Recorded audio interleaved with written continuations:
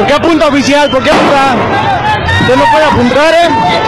Usted no puede apuntar. Mientras yo no tenga arma, usted no puede apuntar. Está en la ley, está en la ley. Aprende la ley. Aprende la ley.